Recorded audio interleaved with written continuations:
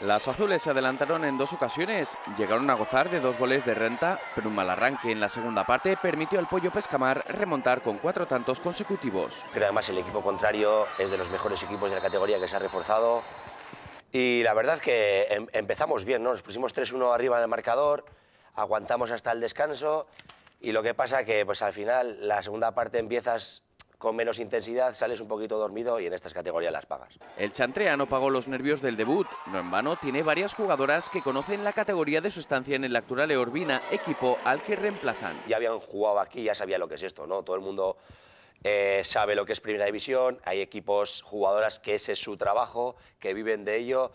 Entonces, eh, siempre que podamos competir contra ellas, pues siempre es bonito. Estreno liguero complicado para este recién ascendido, pues afronta un primer mes de competición ante rivales de la zona alta. Esas burgas que viajamos este, este viernes para disputar el partido del sábado, pues siempre ha estado arriba. Eh, hace dos años quedó subcampeón, eh, tienen a la Pichichi de la Liga, son gallegas que para mí esa es la cuna del fútbol sala.